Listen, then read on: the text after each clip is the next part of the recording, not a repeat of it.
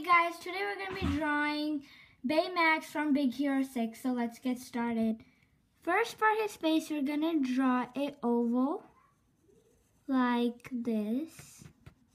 And his eyes are just circles, so there you go. Right here. Then you connect them. Just a little bigger. There you go. So that's Baymax's face. Now let's go on to his body. So to make it easier, you can make like two circles like this. I'm gonna do that, yeah. And another big circle. So like a snowman right now. Okay, so now we have this snowman. Now we're just gonna erase this part in the middle like this.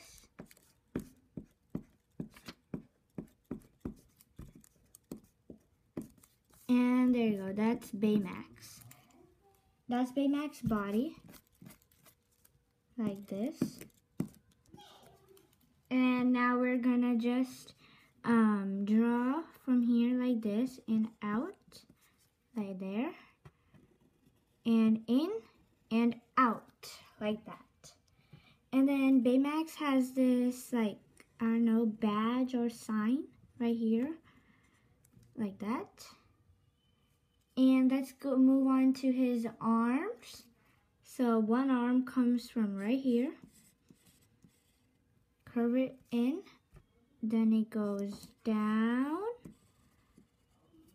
and then it has um like it's like claws like this.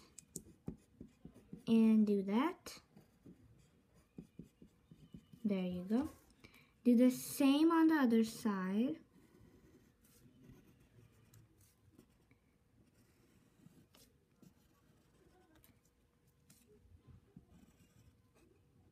And there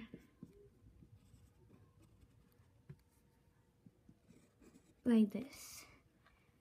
Okay, now for Baymax feet, they're really easy, so you just draw a curve and curve back in, and another curve, and in, like this.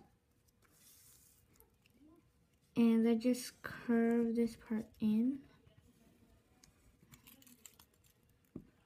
like this. And there's Baymax. And I wanted to show you guys one of my friends drawing. Her name is Gianna.